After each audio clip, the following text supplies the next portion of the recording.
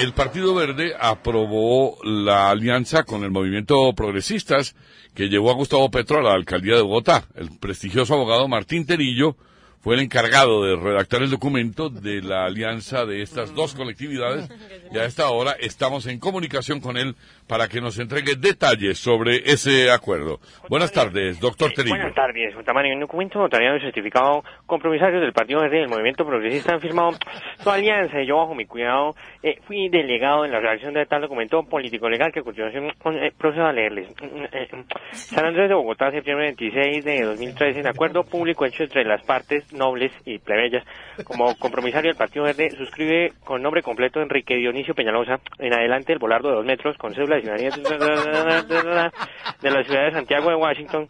Como compromisario por el movimiento progresista se suscribe con nombre completo Antonio Gumercindo Navarro Wolf, en adelante el Patetumbia, con cédula de ciudadanía de la ciudad de Santa Fe de Pasto, distrito capital del Cuy. Tengan en cuenta los artículos 23, 215, 1223 y el parágrafo 3204 del Código Nacional Electoral, el cual se afirma que todo partido, movimiento significativo ciudadano tendrá que acceder el volardo de dos metros. Lea y bien, lea bien que después. el volardo de dos metros y el patetumbia se comprometen a dos puntos.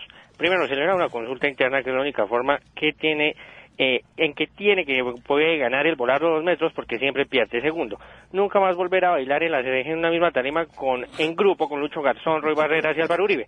Y tercero, Pate Tumbia reconoce que llega un movimiento ya conformado y que a pesar de expresar ideas de forma más clara, a la igual de enredado a mocos.